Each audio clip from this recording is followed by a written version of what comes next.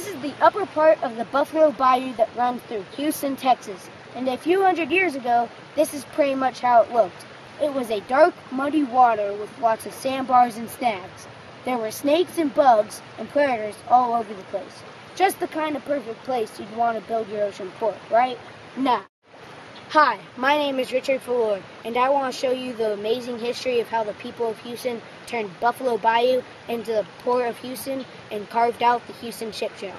It is a great example of rights and responsibilities. Even though Houston isn't on the coast like most other ports, the people here believe that they should be able to have a place where ships sail to and from all around the world.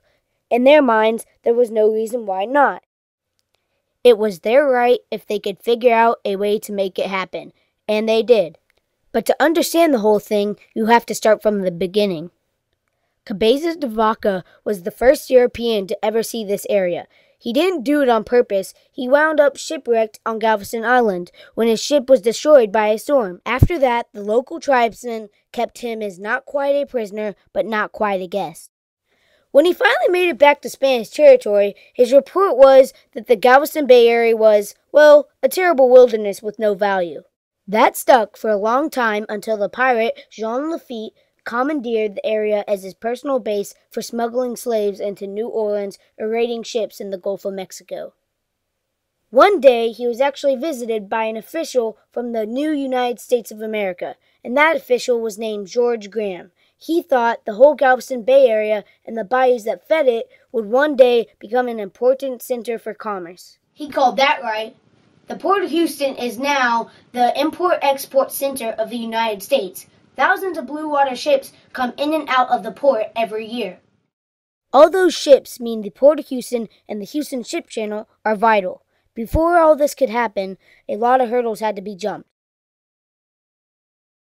The first one was the city of Houston itself. The Allen brothers, who founded the city in 1836, plotted it out along the Buffalo Bayou where it meets White Oak Bayou. They did that because they thought boats could steam that far upriver. And they did, but it wasn't easy. Diaries from early settlers and ship captains talk about sandbars, thick jungle vines, and snags, as well as lots of alligators and snakes.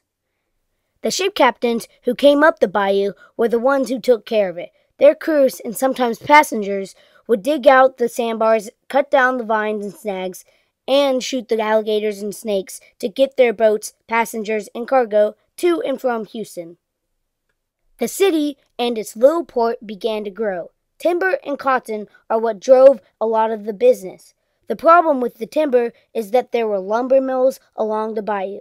They polluted the bayou with goo and sawdust. Eventually, the city government realized that was bad and passed laws to stop it. Also, the city realized it shouldn't dump garbage and waste into the bayou that was their channel to the port. Even though most residents were pretty good about not dumping their garbage, some early laws were needed to keep the bayou and the banks as clean as possible. But it was still mostly the ship captains that were responsible for keeping the bayou clear and the companies operating the docks along the banks were also responsible for keeping the sandbars dug out. But as the city grew, it got hungrier to become a deep sea port. The nearest competition was Galveston. Both Houston and Galveston battled it out until a hurricane washed the little island off the map. And that was important because people figured maybe it wasn't so crazy to put a port 50 miles inland. The big problem was digging out a channel deep enough and wide enough for big ships coming in from the open ocean. It wasn't the technology or know how, it was about how to pay for such a big job. After all, the Houston Ship Channel was 52 miles long.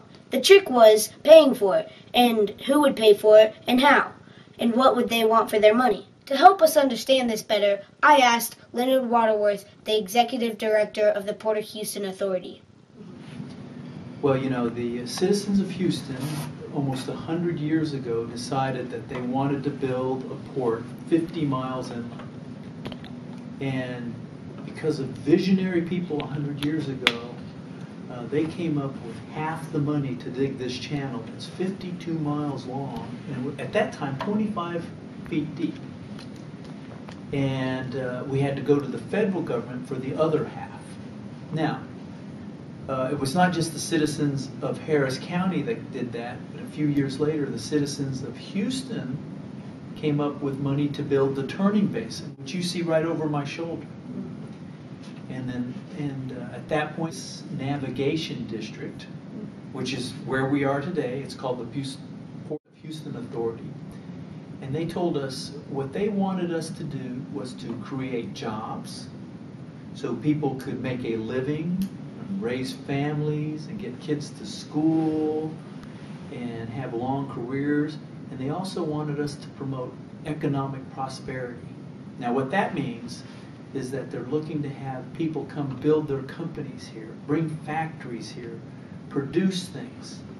So these were this was all done by visionary people by names like people like Jesse Jones and Ross Sterling. So what they asked us to do was they invested money into people that would build a ship channel, to build docks, to build wharves, to build container facilities.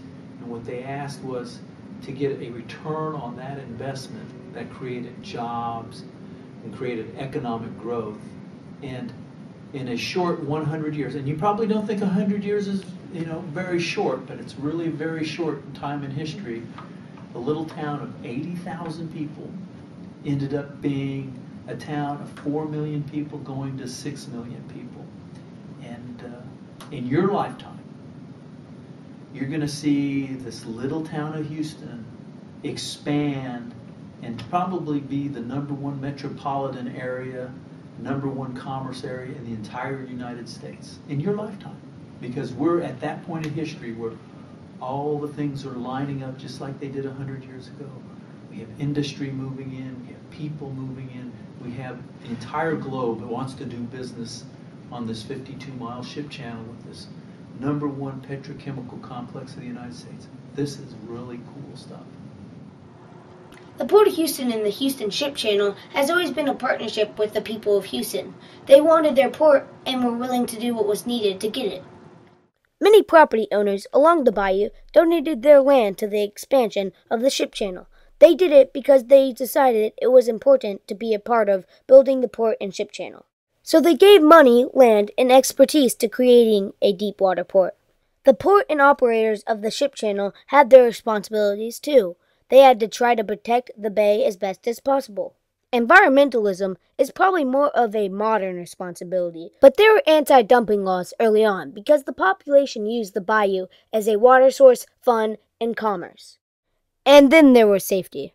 The port began operating fireboats as far back as the early 1920s. It now operates one of the most advanced fireboat fleets in the world. Navigating the ship channel is for experts. That's why there are special pilots to guide ships up and down the channel. These are the guys that know everything about the route from the Gulf of Mexico all the way up to the turning basin. They make sure ships get to and from the docks safely. Also, because the port is a government entity, tax dollars don't pay for any of its operation. It has to earn the money it needs for maintaining the channel, paying employees, and getting new equipment. It does that through fees and tariffs paid by ships and shipping companies. Literally, out of nothing, we built a port and carved out a ship channel from a bayou and through a bay. From a tent city to a big city with a big port. This was the right of the people who took that responsibility then, now, and in the future.